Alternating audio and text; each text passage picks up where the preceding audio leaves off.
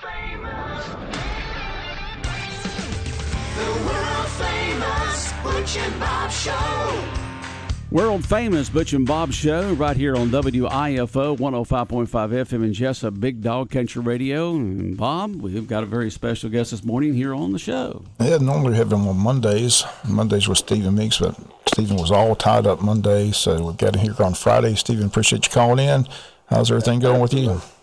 Absolutely great, uh, great to be back on the air, and appreciate the opportunity. Everything's going, uh, been it's going great. It's been a really busy week. A lot of lot of stuff happening with uh, committee meetings and appropriations, and uh, visitors coming to town. So it's uh, it's been a really busy week, and we uh, next week will be busy as well. We'll have uh, leadership Wayne uh, in town next week. We've got Alma and Bacon County coming up to do their uh, long time cookout on uh, Tuesday. So we'll uh, it's been busy. A lot of folks coming through, and uh, a lot of a lot of committee work happening. You must have been really tied up on Monday because I know how much you love the Butch and Bob show. So the ditch asked for it must have been important meetings. I, I do. It's uh, I I really I really enjoy kicking my week off with you guys. Quite honestly, and the listeners. Um, it, it just it makes my be- my week so much better. But we uh, we started committee meetings uh, 8 a.m. every day last week, and um, trying to get the amended FY24 amended budget uh, uh, put together, which we will have on the floor on February the 4th.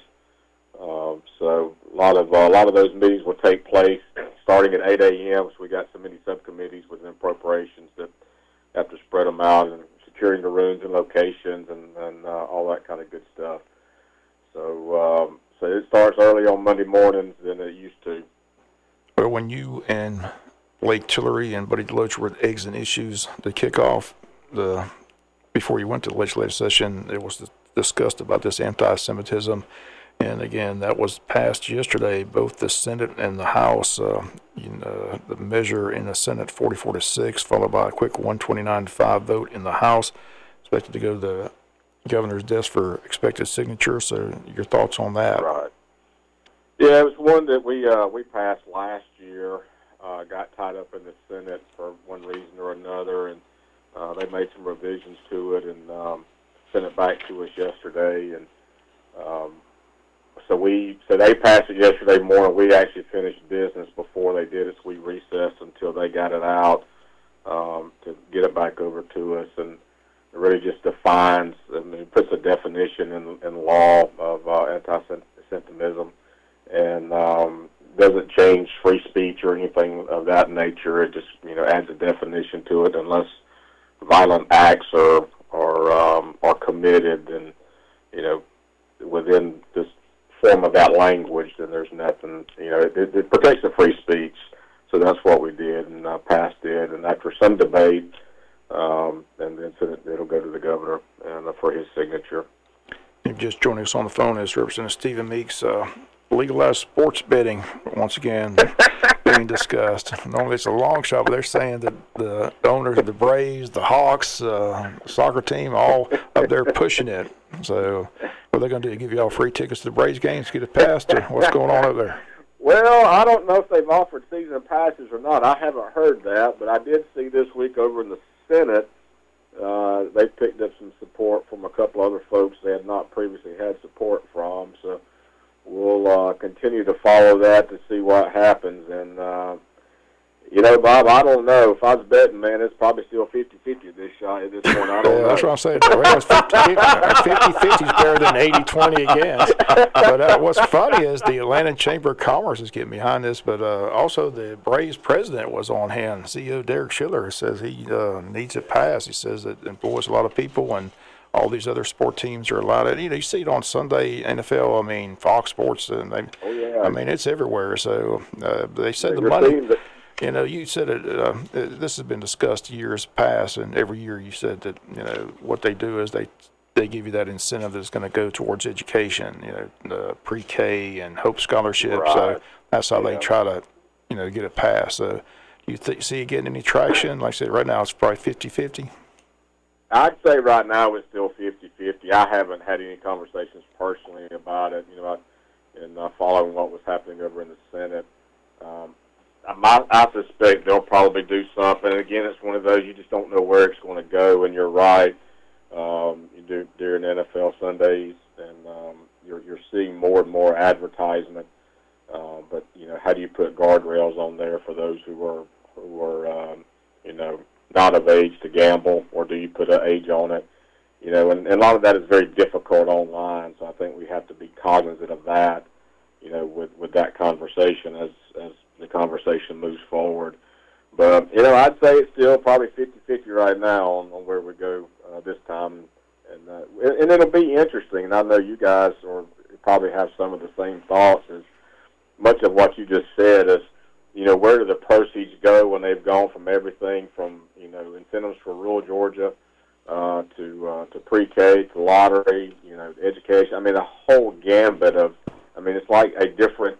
It goes to a different pot every time we have a different version. Um, so it'll be uh, be interesting to see what they do this year uh, with a uh, with a draft and uh, moving forward.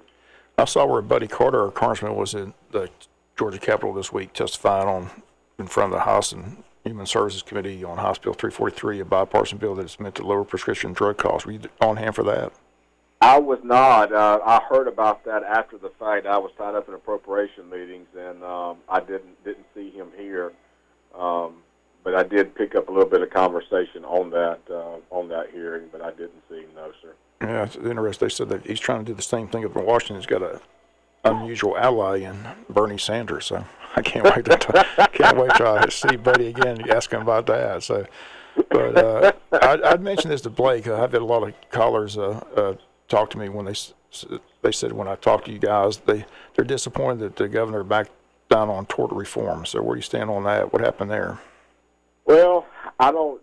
You know that happened on about day two of the legis- of the session, and everybody, you know, kind of scratching our heads you know, trying to figure out what that was about. We do have uh, a couple of members. I know the lieutenant governor has indicated he'd like to move forward something, and we've got some members over here who have interest and um, in moving forward with it. And the more it gets talked about, the more uh, different aspects of the impact that tort reform would have on our economy uh, comes forward, and, and you hear more and more about it. Um, I think we'll probably see something eventually. How far it gets down the road, and you know, what does the governor do if it makes it to his desk? I'm uncertain. Uh, but it sounded like he wanted to slow down the process and and you know take a slower pace to getting there. Uh, but it's it's one of the things that we do need to take a look at because it has a huge impact on operating expense, our economy, um, and citizens all across in terms of insurance premiums that are paid, et cetera. Um, so we, we do need to take a look at that, and I think we'll we'll have members uh, drafting some. I know uh, uh, Representative Clay Pirkle from down in Ashburn uh, is working on a bill, and I don't I believe that um, there is one being worked on in the Senate as well. Once again, just joining us on the phone with us is State Representative Stephen Meeks. Uh, you were good friends with Blake. We had Blake on Tuesday. He talks about you know the budget's the big thing. So, how's the budget process going? I know you and him are good friends. It's uh, it's going well. Um, we are in the process of putting together the amended budget, uh, for which is the mid-year budget as we refer to it uh, up here. And and as the governor had previously mentioned at Eggs and Issues, excuse me, with Georgia Chamber, you know some some good things in it, and hopefully you know we're cognizant of what the needs are across our state as we uh, do um, look at ways to to put resources where they need to be with a uh, a surplus that's at record levels, uh, thanks to a good economy in, in our state and some of the things that we're looking at doing that. So some, a lot of it will go to uh, economic development. I know we're putting uh, 100 million for uh, rural economic development projects and other grant opportunities and for rural sites, rural development sites. And then, you know, many of our communities receive funding um, year or so ago from some of the federal money that came down during COVID. Um, and a lot of that was directed toward infrastructure. And as we know, particularly, you know, in our case in Wayne County and City of Jesup, uh, we received one that was about six million uh, for a project, and now the the estimated cost of that project is you know, 21 million dollars.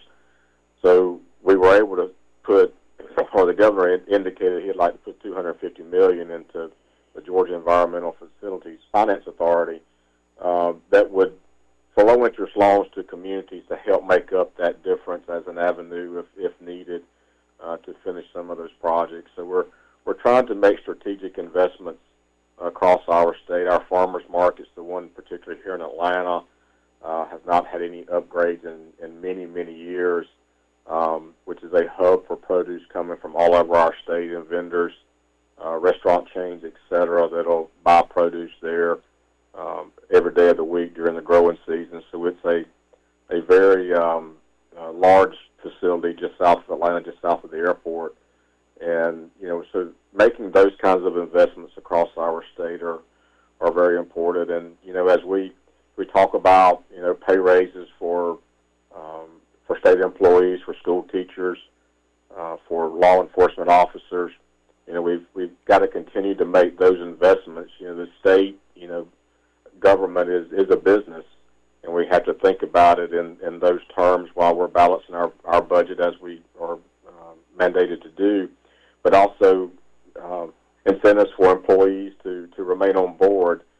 Um, you know, we've gotten a lot of the baby boomer generation is retiring, and we've got to be able to replace um, uh, and keep growing in terms of keeping uh, sufficient staff employed to uh, meet the needs of Georgians. So you know, getting pay up for some of the state jobs uh, all across our state is very important. We're working hard to do that and do it in a strategic way, and even providing some funding for our uh, retired state employees that have not seen a COLA in several years. So we're trying to, you know, make sure we're taking uh, strategic steps and addressing the uh, needs across our state. But the amended budget's coming together. Um, we will have uh, several meetings on Monday back to back uh, to finish up any items, and I believe the chairman has indicated February the fourth he would like to have this on the um, on the floor to go ahead and get it out and get it to the Senate, and then we'll move on to um, the bigger budget, the 25 budget, and start work work on that as well. So it's uh, it's coming together.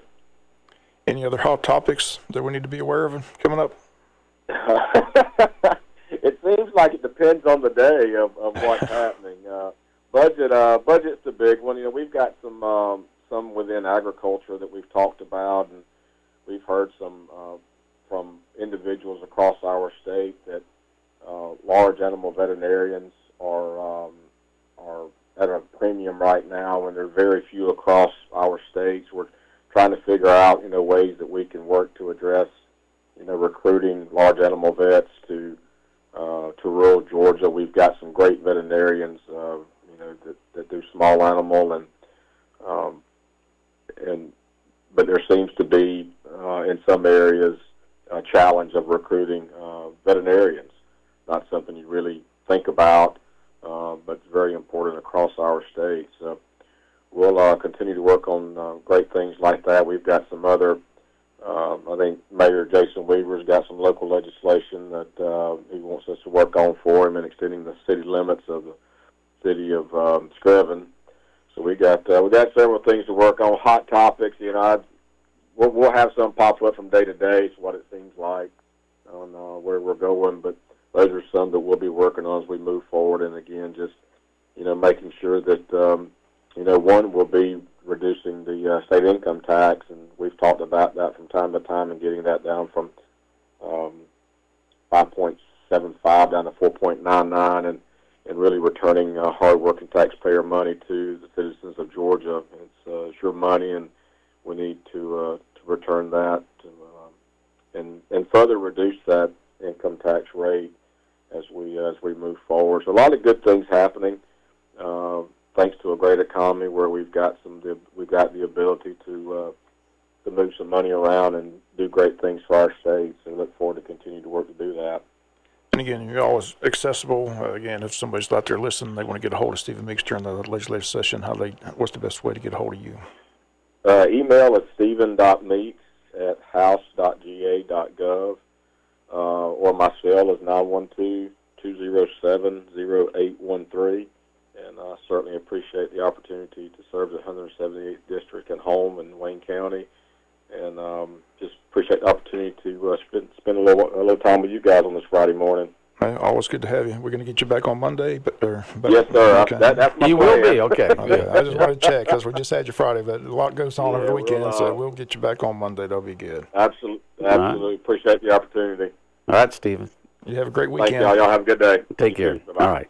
State Representative Stephen Meeks, our special guest this morning here on the world famous Butch and Bob show here on WIFO 105.5 FM And Jesup. It was good for him to insist on being on Friday when he could have just waited to Monday since he missed this Monday because of, uh, of meetings. He he likes being on the show, and uh, just like Blake does and Buddy does, and so it's good to have our two state representatives and a state senator enjoy being on the Butch and Bob show uh, most every week that they're in session. Yeah, we appreciate it. And most appreciative, of course, should be our listeners out there who get to hear what their elected officials say. What's going on out there? What are they doing up there under the Gold Dome? You know, when they first start off up there um, in the first few weeks, there's all these gathering and get-togethers. You know, this the barbecue, this the breakfast, that the dinner, this the, you know, the, the, there's so many social functions for them to go to for the first couple of weeks that a ses- that you get in session up there. It's amazing they can get anything done, but there's a lot of a lot of social things that go on. Well, as you mentioned, the group of Wayne County going up there next weekend. Leadership Wayne's going up there Right. to visit. So I saw Dale Keith yesterday. He's going up there as well. So a lot of people from Wayne County headed to Atlanta next Right. week. Yep.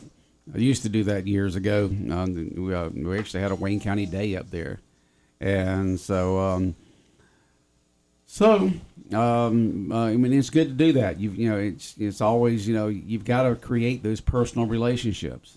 Uh, and uh, and when you go to these functions, not only do you get to see the the, the, the three, but in many of them you've got uh, a, a bigger event going on, so you get to see other state legislatures. Uh, you get to see department heads, other officials that you can develop those relationships with when you may need them for something.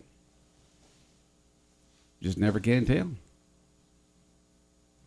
We're expecting somebody else. Did you hear the I didn't expect anybody this morning. I mean, it's uh, 20 minutes after 8 o'clock. The doorbell just rang. I didn't expect anybody to come in. Do you want to go up there and? Uh, I think it's probably something to do not with the Butch and Bob show because I didn't expect the Butch and Bob show. If they were going to be on the Butch and Bob show, they would have been here at, at eight o'clock, Right. not at eight twenty. I got you. Yeah, and so um, uh, I didn't expect anybody to be to be on the Butch and Bob show this morning. Our doorbell just rang, but it's only me and Bob, and we're sitting here flapping our jaws on the radio. So we'd have to stop talking to go answer the door, and we can't do that because we're talking on radio. So you're going with the home teams when it comes to the championship weekend, huh? Yeah, It paid dividends last week, three and one, and I said I think both. I just Kansas City is hard to pull against them. I love Mahomes and Andy Reid, but I think Baltimore's defense is just too good, and plus they're at home, and Lamar Jackson's flourished under Todd Monken, so I'm going with the home teams. I still Yeah, think San you've Francisco. some chink in the armor a little bit this uh, this year in uh, Kansas City, so they're going to be uh, beaten. This is this is this is the year for it because they're playing, you know, the team with the best record. I tell you, six straight AFC title games. That's that's impressive though. And Patrick Mahomes is fun to watch. And I said Andy Reid's one of the best coaches. Travis Kelce had a great game last weekend, so they played their best game. But I said Baltimore at home with that defense. Um, I got to go with defense. Defense wins championships. Defense wins, and the Cinderella story is coming to an Yeah. end against the and it's hard to pull against the Lions. I I would love to see the Lions in the Super Bowl. That'd be a great story. I mean, those poor fans for years. You know, Barry Sanders retired early. You know, that's that's what you remember Detroit being relevant when Barry Sanders was running, Right. but they could never get anywhere. But the, for them to be one game away from the Super Bowl, that'd be a heck of a story. But they playing. I still I've had San Francisco all year as the best team. I still think San Francisco is the best team. Christian McCaffrey, ever since they picked him up, they've got all those weapons and. Brock Purdy's a great story. Mr. Irrelevant, playing well. So I got I got the home teams winning this weekend. Okay, all right, and then two weeks after that will be the Super Bowl. Super Bowl. Yep. In Vegas. That ought to be fun. Ought to be fun. Yeah. Vegas, you know, they build you build a new stadium, they'll put you a Super Bowl there, and that's what's happening there. They built that new stadium there, and so you got this weekend, uh, the 27th championship weekend, and then Super Bowl weekend coming up on February. What is that? Uh, Eleventh. 11th. Yeah, this, the Pro Bowl would be next Sunday. They throw the Pro Bowl when they're down in Orlando. So, but they got all their the skills 11th. challenge. you know. You know what they've got to do, Bob. Now we've talked about this each year, and we just need to get maybe a national, uh, uh, uh, maybe a, a national campaign on this. Is the one week after that is President's Day weekend. All right, President's Day holiday is a national holiday. Okay, if we could, if we could just get them to add, just add another uh-huh. week. The Monday after then Super the Bowl Monday should be after a- Super should be a Bowl would be a holiday. It It'd be, be a holiday. President's Day. Uh-huh. It's already a holiday. All they got to do is just somehow stretch it out one more week. You know, give the teams another week off during the course of the year. I mean, they're already got it playing now for you know what, 18 games, 17 games, whatever it is now. And uh, so all you got to do is just you know give them another week off, give them another week, another week of rest, and have the Super Bowl on the Sunday before. President's Day. President's There Day, and go. that way, that's a national Holiday. holiday. They forget it all. And people get have off on this on the Monday after Super Bowl. It's just one week, you know. It's no we're not tr- trying to stretch it out the two or three weeks. It's just one week, and um, they they just won't do it. Surprised the Falcons passed on Arthur or on Belichick. Belichick looks like he can't get, find a job. I, think he wants too much control. I think he, I mean, he's, know, he's the goat. They don't want he the is goat. the go, but you know, it's not what you did for me yesterday. It's what you can you do for me today, and they just don't think he still got it, or he wants to have total total control, and other people in the front offices, the GMs and other folks say, you know, oh, you know, we don't want this control taken away from us. I think Brady's blackballing. That's what I think it is. You think Brady? I don't think Brady. I think- I think think- Brady's got better things to worry about than How about Bill Brady Belichick. back with his wife? Him and Gisele back together. They are. Yeah. When did this happen? I, I, haven't been under a rock. You don't watch Entertainment Tonight? No, I don't watch entertainment tonight, but They're back you know, together. I, I, I do read social st- not social media, but you know, uh, stuff on the internet Brady and that's uh, entertainment news reunited. You got to be kidding me! No. It's a fact. Are you sure? positive? That's what I, I'm just going what I've seen. So you saw it on Entertainment Tonight. I saw it on Entertainment. Tonight. Well, that's pretty respectable. Hollywood Access, all that good stuff. You know, But TM did TMZ have it? I, I don't. I didn't check TMZ. I heard Brady and his wife got back together. Happy for him.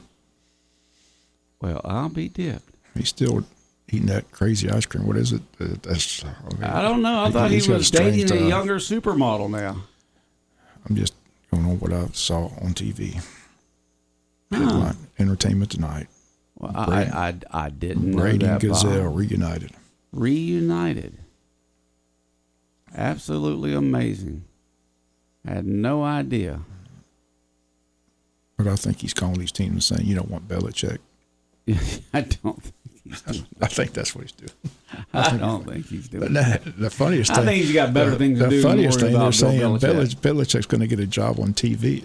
That that guy's the most boring guy in the world. What's he No, going to no, what's, no, he, what's, no. what's he going to bring to the TV? You know, I've heard some interviews on our, you know, our, our, as people well know, our sister station, Wayne County's heritage radio station, WLOP, Fox, 'cause Fox Sports Radio, 1370 AM, The Buzz. WLOP is sports talk all the time, 24 hours a day. If you like sports, you'll love listening to 1370 on your AM dial, Fox Sports Radio and uh, and you and you know folks like uh, Jim Rome or Dan Patrick or Rich Eisen or somebody they'll, they'll interview folks from um, uh, from some of the former players of um, of the New England Patriots, and they say, well, what is Bill like when he's you know when he's not on in front of the mic and stuff like that, and they say that he can be a you know pretty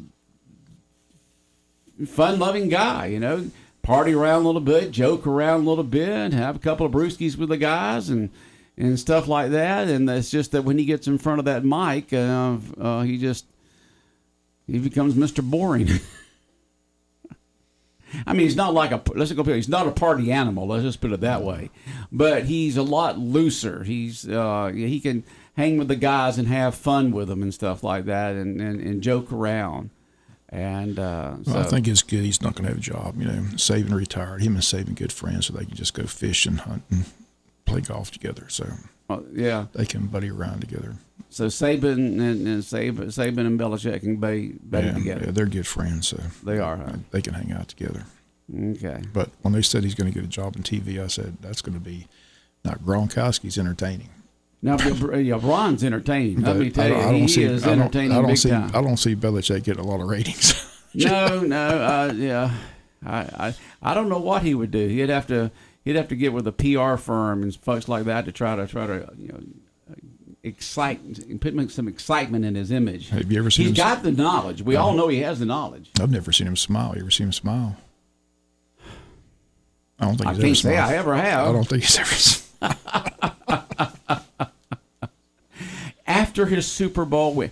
That's one of that's one of the things that uh, one of the players were talking about that when that that uh, that is when he will let his hair down and uh, have a good time is at the end of the season with a Super Bowl win. He is so focused beginning in June all the way up until the Super Bowl victory that, that that's all he's focused on. And then if he wins that Super Bowl, you've seen him the pictures and so forth. He's smiling, he's having a good time. That is when he'll actually let his hair down and have a good time. Is after the season's over with with a with a Super Bowl victory. If he doesn't have a Super Bowl victory, he starts thinking about the next year and what he can do to to win again. Just surprised. I said Arthur Blank seemed to want him. Interviewed him twice, but like I said, the story is that several people in the front office didn't want him to come, and when he said he needed certain people fired, Arthur Blank was one of those people he wanted fired, and said, nah, "I'll keep those people and find somebody else." So Raheem Morris, the new coach in Atlanta, is that better than what they had there? Say, I have I tell, no I tell you, it's easy to fire somebody. The question is, what are you getting? You know, What are you going to get in return? Yeah, I mean, this guy's bounced around like a lot of the other uh, uh, NFL coaches. So hopefully there's some chemistry there, and he'll do well with the Falcons. Let's hope. That's all we can do is hope. You just don't know. But uh, you know, coaches, uh, old coaches like uh, Bill Belichick, and, and, and older players, sometimes they just sit back and wait and, until they get that phone call because some owner needs them as a as a player or as a coach. So uh, I've got a feeling that, that sometime within the next year, uh, Bill will be getting a call saying we need your expertise. I don't know if he doesn't coach this year. I don't see him getting it. You don't see him? No. And you know, the reason he wants to coach, he's like three or four games behind Don 15. Shula. You know, as if that many. Fifteen Yeah. games. That's what he wants. He wants to break that record. He wants to break Don Shula's right, right all time. record. So, but doesn't look like that's going to happen. Yeah, maybe not. And I, I'm glad he's not because I, I, I really like Don Shula. I was a big Dolphins fan back in the '70s. Those are some good teams. Some good teams. Csonka, Mercury Morris, Mm-hmm. Bob Griese. Yep. Yep, all those guys. All right, Bob. Anything else? I just want to remind people about that railroad crossing is closed. The one on Sunset Boulevard was closed this morning at, 9, at 6 a.m. They said it'll be closed for approximately two to four days as they're repaving it. They're supposed to do that Monday, so they should be reopened around 5 p.m. Monday. So keep that So in which mind. one? The One one out there Yeah. towards the country, you know, the CSX. That's Suns, up there The, was it the one that's close on to Sunset Boulevard, up by the country club. They're going towards country club. okay, I know. Yeah, but there's Sunset. two tracks there. There's one right there, you know, where Healthy Pet is, and there's one down there at the Country Club. So There's two of them. Yeah, yeah, yeah, you ride down Sunset Boulevard all the I thought it was time, Bob. You go across two railroad tracks. You've only been doing it for like thirty something years. Yeah. You what I know. I, it just says CSX closed. It's uh, the one on Sunset Boulevard. That's all it says. Okay, so one of those two's closed. Yeah, I think it's the one closest to the country club because Okay. I saw the road when I was coming up So- the country club last night. It said the road closed. So Oh, okay. I think, I think it's the closest one. The closest one there, the one that heads down to Jacksonville, not the one that heads to Waycross. if you say so. Just know that one of those railroad tracks is closed on Sunset Boulevard. So if you're going to go down Sunset Boulevard, you're going to have to figure a way to get around for the next few days until next Tuesday morning. Right. All right. Well, Bob, have a good day. All right. The world famous Butch and Bob show here on WIFO 105.5 FM in Jesup. And it's brought to you by First Southern Bank, by Vans Barbecue, Murphy Builder Supply, and O'Quinn and Associates.